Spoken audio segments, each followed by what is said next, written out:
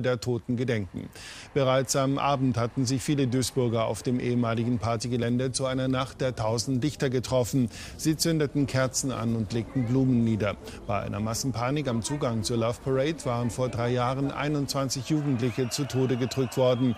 Mehr als 500 wurden verletzt.